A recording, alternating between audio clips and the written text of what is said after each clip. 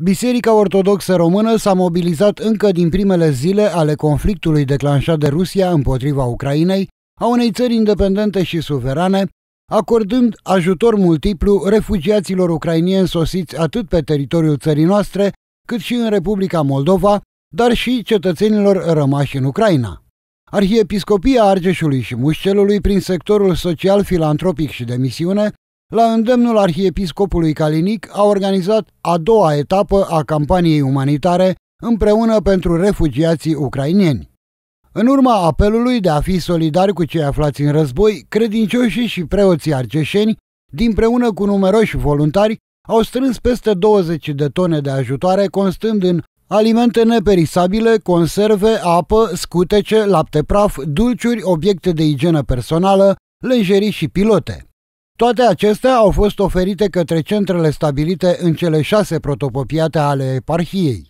Foarte mulți voluntari au ajutat la încărcarea și sortarea produselor în tirul care urmează să se alăture convoiului umanitar organizat de Patriarhia Română pentru refugiații ucrainieni aflați în zona Cahul din Republica Moldova. Iată-ne la momentul în care punem punctul unui demers pe care l-am început acum o săptămână și anume acela de a pregăti un al doilea transport către uh, frații noștri de dincolo de graniță aflați în suferință.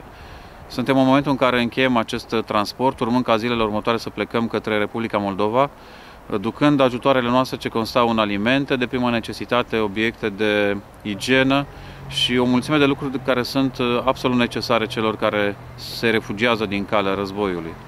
Uh, nu avem cum să nu mulțumim celor care s-au implicat. Au fost o mulțime de voluntari, o mulțime de preoți care au dat răspunsul bun solicitării noastre de a face aceste colecte în rândul parohiilor, indiferent de mediu, fie rural, fie urban, și enoriașilor noștri care de fiecare dată când află de astfel de acțiuni filantropice răspund uh, cu inima deschisă și am văzut că ceea ce au adus pentru, spre a fi împărțite fraților noștri din Ucraina sunt numai lucruri de bună calitate și foarte, foarte necesare lor în această stare.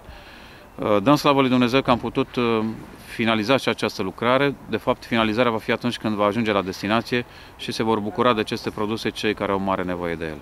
Nu contează că ajutăm uh, ucrainieni sau că ajutăm francezi sau mai știu, important este să ajutăm pentru că suntem oameni cu toții.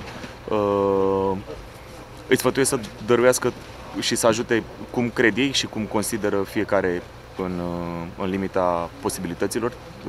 Cu siguranță treaba asta o voi face de fiecare dată și îi încurajez să vină și aici să ne ajute pe noi la sortare și la triere pentru că uh, a fost o muncă destul de grea. De fiecare dată când uh, mi s-a cerut uh, sprijinul de către chiar de către parohia Catedralei sau alte parohii din localitatea noastră, am răspuns de fiecare dată prezent. Consider că ceea ce fac eu nu este o muncă foarte, foarte, foarte grea. Astăzi m-am întâlnit cu 5-6 băieți care îi știam doar din vedere din oraș, dar uh, uh, lucrând în mai puțin de 5 minute, parcă eram niște colegi vechi de 15 ani și am lucrat uh, foarte, foarte bine și eficient. M-a impresionat un lucru și anume noi în orașul Mioveni împreună cu primăria găzduim două familii de ucrainieni și ei au vrut să ajute alături de noi la colectarea de alimente și implicit la punerea lor în uh, acest tir. Și pe lângă lucrul acesta m-a impresionat uh, foarte mult uh, mesajele copiilor pe care le-am găsit în pachete pentru cei din Ucraina.